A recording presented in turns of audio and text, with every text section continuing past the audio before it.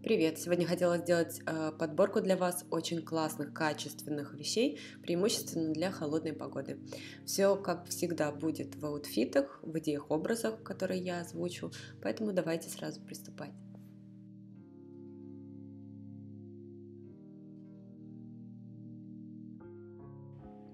Кашемировый свитер как база идеальный первый слой для теплых таких аутфитов, который и греет, и при этом является намного более приятным а, для тела, чем, скажем, обычный шерстяной свитер, даже если это будет мериносовая шерсть.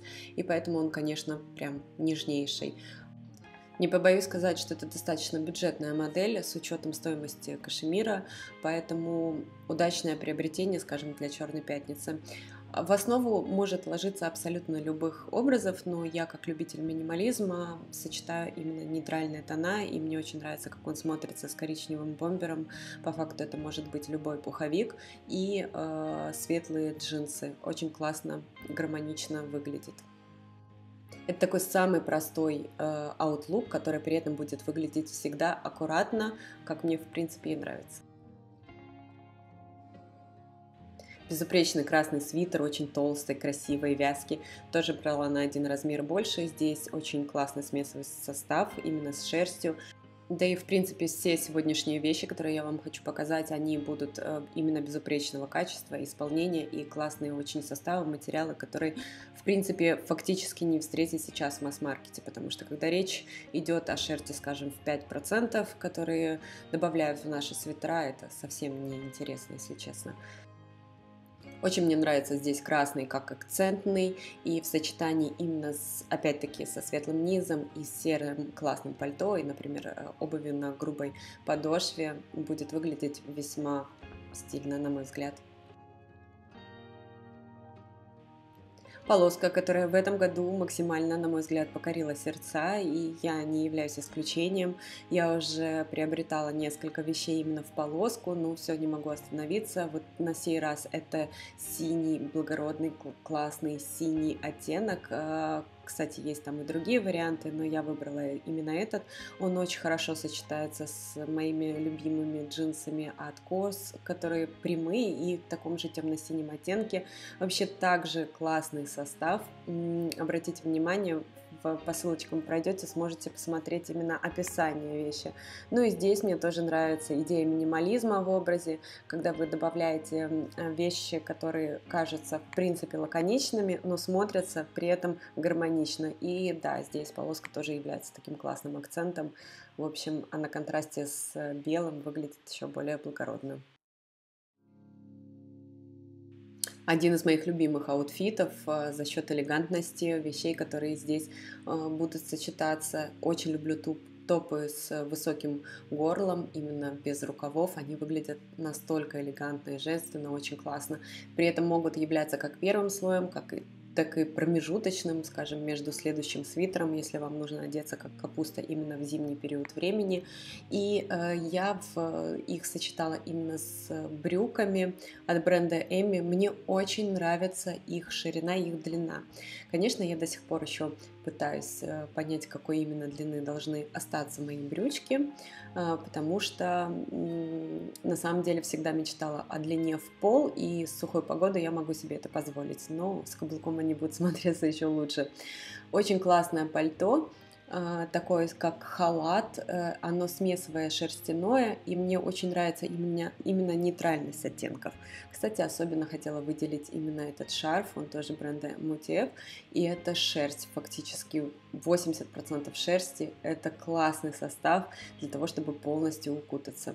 Вообще лук, он полностью такой получился расслабленный, благодаря ширине штанин и вот этой свободе движения он выглядит именно динамичным для города. Такое теплое платье с добавлением шерсти и классным воротником пола. Казалось бы, такой тривиальный оттенок коричневого, но коричневый очень хорошо именно в теплый период времени в принципе выглядит, он такой прям вкусный, ну и мне захотелось немножко его обыграть нетривиальным способом, выбрать, например, леггинсы более светлого оттенка, чтобы они играли на контрасте. И, например, грубая обувь, но здесь самое главное, что это узкое голенище и смотрится при этом ножка очень аккуратно. Пальто выбрала структурное для того, чтобы подчеркнуть, чтобы не было сочетания, скажем, слишком свободного пальто, халата и такого же платья, поэтому я играла на контрастах в данном случае, и мне нравится эффект, который получился. Сумка здесь играет уже вторую балансирующий а, вторую балансирующую составляющую. Получается, что вот у нас есть два белых пятна, без этой сумки, наверное, леггинсы бы выбивались. Очень классно, на мой взгляд, получилось. И все остальное мы просто добавляем по мере, скажем, холода на улице, добавляем аксессуары теплые и, возможно, даже второй слой. Но из-за длины пальто будет тепло. Следующее, что хочу показать, это даже нельзя назвать отдельно полноценным луком, потому что не будет верхней одежды, но здесь мне очень понравилось сочетание цветов и, а, скажем, фактуры. Очень классная кофта, в которой я буквально влюбилась, с воротником пола. У нее есть такая красивая вставка белая, которая есть и на воротнике, и на самом манжете. Очень эффектно выглядит, ну и благородный, такой приглушенный, травянистый, уходящий в даже немножко в светлый оттенок оттенок, который классно сочетается со всеми бежевыми, коричневыми, рыжими оттенками. Собственно, с этим я и хотела поиграть. Очень классно сошелся он сумкой от Zara. И что мне нравится, это разбавлять классикой и какой-то такой немножко нелепой, например, обувью. Обувь, кстати, может быть абсолютно любая. Это могут быть дутики, если мы говорим о зиме. Это могут быть укороченные уги. В общем, все вот такое на контрасте именно фактур и моделей. При этом классические брюки сюда вписались отлично, на мой взгляд. Казалось бы, самый обычный спортивный костюм, который обычно блогеры обходят стороной в своих аутфитах, потому что это скучно и пресно, но при этом 80% из нас их используют в повседневной жизни и на самом деле без них не обойтись. На сей раз я выбрала такой классный розовый, он вообще для меня не характерен, но здесь он такой приглушенный, уходящий такой в пыльный оттенок этого розового, в общем, не pink, что мне нравится. А, мне нравится спортивный костюм как основа. Я их миксую абсолютно всегда с любыми даже вариантами обуви. И в данном случае у меня здесь представлены аксессуары в виде шапочки из кашемира и шерсти, между прочим. Классная шапка, Э, идеальный состав и идеальная цена, очень вам советую присмотреться. А также дутый жилет, который может э, являться как промежуточным слоем, так и основным в зависимости от погоды. Ну, чай попить на веранде будет вам очень приятно вот именно в такой компании. Ну и обувь также, как я сказала, может быть любой, но здесь я просто дополнила ее белым. Ну, кстати, сумка, которая мелькала здесь, мне она тоже очень нравится. Это Милскарта, и она такая в стилистике The Row, очень классная, спокойная.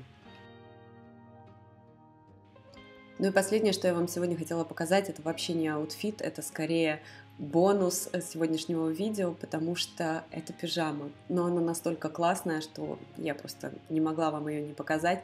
Вообще, это вискоза, очень летящая, структурная. Гладить я ее даже не пыталась, потому что она очень легко мнется и очень тяжело гладится. Но не это главное. Она действительно струящаяся, и мне кажется, что это самая красивая модель пижамы-спортивного костюма для дома, который я только носила, потому что и цвет, и вот эта вот фактура, она вся сошлась.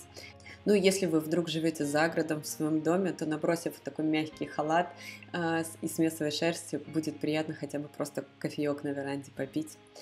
Мне кажется, это очень красиво. Я же, как всегда, надеюсь, что вам было интересно. Обязательно подписывайтесь, если вы еще этого не сделали.